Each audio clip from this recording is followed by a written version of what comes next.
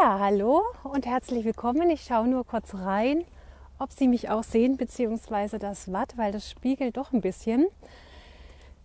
Ich stehe nämlich hier im Wattenmeer Büsum hier an der Nordsee. Wir haben Ende November und es ist relativ mild und ich möchte die Zeit nutzen, auch die Windstille, ja, diese Ruhe. Hier laufen zwar immer wieder Leute vorbei, aber generell ist es relativ ruhig und ich möchte Ihnen heute eine wirklich kraftvolle Übung zeigen, eine sehr praktische Übung, die schon vielen Leuten geholfen hat, aus dem gewohnten Denken müssen, aus diesen zwanghaften Automatismen im Kopf, ja, die praktisch anderen sie hineinprogrammiert haben, Gesellschaft Gesellschaft, Lehrer, Eltern, Kultur. Ja, jedes Mal, wenn Sie Fernseh schauen oder Smartphone, Internet oder was auch immer, Sie werden programmiert, wenn Sie nicht bewusst genug sind.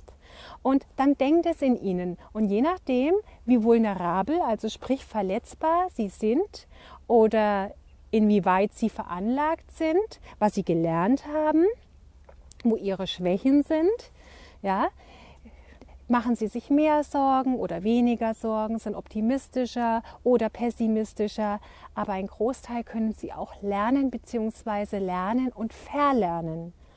Und mit den negativen Mustern kommt normalerweise kein Kind auf die Welt. Ja, kein Baby sagt von sich, ich bin aber schlechter als du, weil was auch immer für Gründe, ja?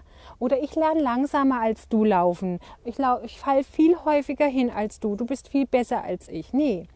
Irgendwann hat das das Kind gelernt und diese ständige Denken müssen, diese ständigen Bewertungen, das wird dann immer schlimmer und immer schlimmer und oftmals so stark, dass wir wie ein Spielball von unseren konditionierten, also das heißt unseren gelernten Gedanken hin und her geworfen werden.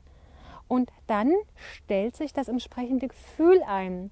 Und das ist häufig alles andere als positiv. Und dann sind wir angespannt, wir haben Angst, ja, so eine neurotische Angst, also keine reale Angst vor etwas, was uns gefährlich werden könnte, sondern von unseren Dramen, unseren selbstproduzierten Geschichten im Kopf.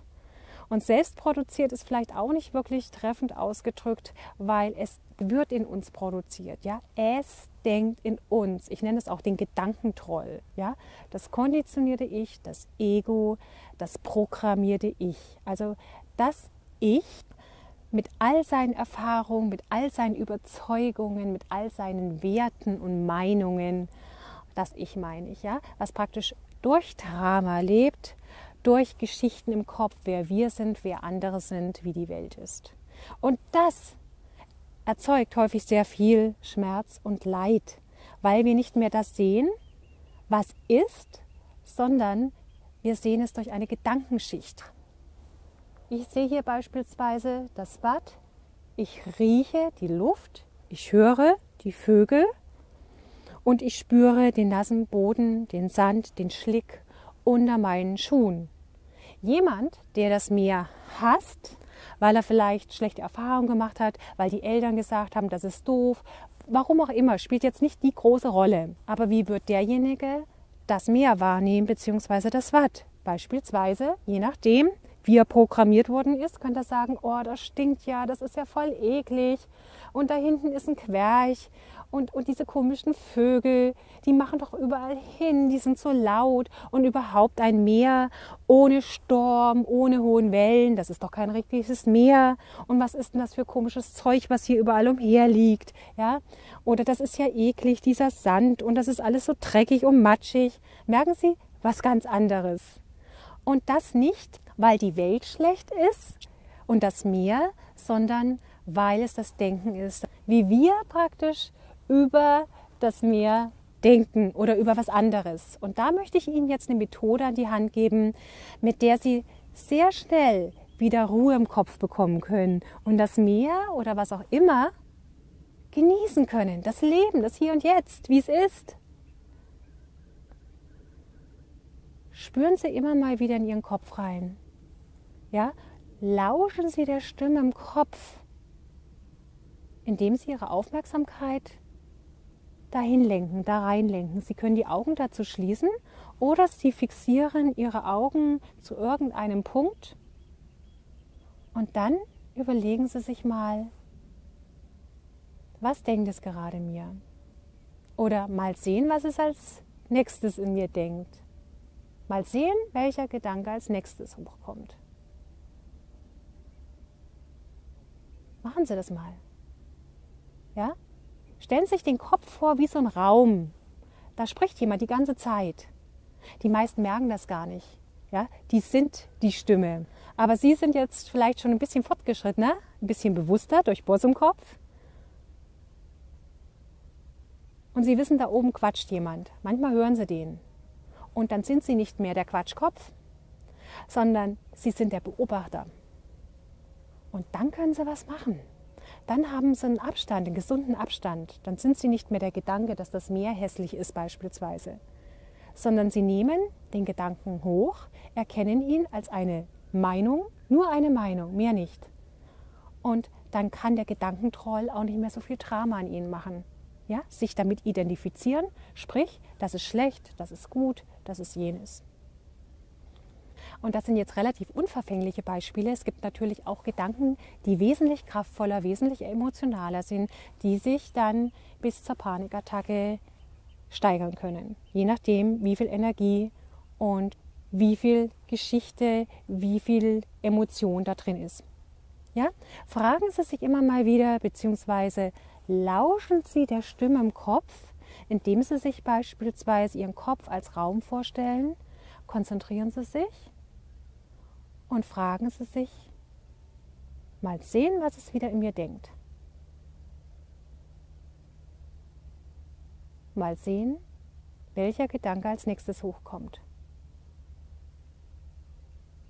Ja, das ist auf etwas lauschen, da drin, die, der Stimme lauschen. Das ist sehr, da müssen Sie schon bewusst sein. Wenn Sie nicht bewusst genug sind, das heißt nicht ein Funken vom Bewusstsein entwickeln können, dann hören Sie das nicht. Dann wissen Sie gar nicht, von was ich rede. Aber Sie als Boss im Kopf-Abonnent, ich gehe davon aus, dass Sie schon achtsam genug sind, dass Sie das wahrnehmen können, zumindest zeitweise. Machen Sie diese Übung ruhig mehrmals am Tag, so oft Sie dran denken. Auch ruhig, wenn Sie im Büro sitzen, das bekommt keiner mit. Fragen Sie sich immer mal wieder, was denkt es gerade mir? Und lauschen Sie in Ihrem Raum, in Ihren Kopfraum rein was es da gerade in Ihnen denkt. Und es langt, wenn Sie das fünf bis zehn Sekunden machen. Länger ist wahrscheinlich am Anfang relativ unrealistisch. Aber Sie werden merken, diese Übung hilft Ihnen, mehr Boss im Kopf zu werden. Ja, die Gedanken werden ruhiger, die Gedanken werden leiser, die Gedanken werden klarer oder bleiben auch mal weg.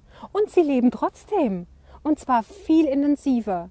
Die Welt ist viel lebendiger, ohne diesen ganzen Gedankenschleier dieses ständige Gedachtwerden. Das ist ja wie so eine Wolke, die über sie bzw. über die Welt liegt. Na, das ist praktisch ein erdachtes Leben. Und sie werden ab und zu mal rausgerissen, weil was passiert. Ja, dann, dann muss alles sehr extrem sein, damit die Aufmerksamkeit in die Realität wandert. Aber fangen Sie doch schon mal jetzt an, die Welt so wahrzunehmen, wie sie ist. Wirklich da zu sein und immer mal wieder zu fragen, mal sehen, was es in mir denkt. Ist da gerade was in meinem Kopf? Und wenn Sie die Frage stellen und wirklich lauschen, also Achtsamkeit entwickeln für das, was in Ihnen ist, im Kopf, dann werden Sie merken, Sie werden auch immer ruhiger, immer gelassener. Und das können Sie überall üben. Das ist ja das Schöne. Im Zug, in der U-Bahn, auf der Bank, während des Spazierengehens. Das ist wirklich schön. Üben Sie es einfach mal. Ja, das war's. In diesem Video, wie Sie mehr Boss im Kopf werden. Mein Name ist Franziska Luschas. Ich mache noch einen kurzen Rundumschwenk. Bis zum nächsten Mal. Tschüss. So, da standen Sie praktisch. Hier oben ist der Deich. Und hier haben wir wieder das Hochhaus im Hintergrund. Und jetzt zeige ich Ihnen nochmal das Wattenmeer hier.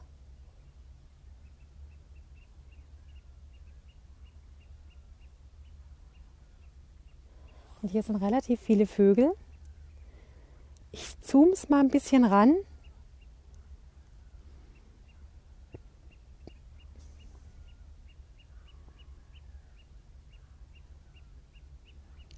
Sehen Sie sie jetzt.